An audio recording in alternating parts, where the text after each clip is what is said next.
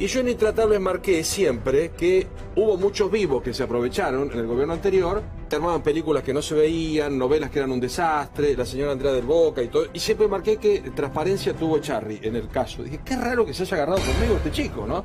Y nos cruzaron y dio una explicación. Dice, estábamos distraídos, como estamos todos, yo tampoco escucho con atención el discurso de Charry, de Duplá, de todo el mundo, porque uno está en la mesa, viene uno, saluda, entra, sale.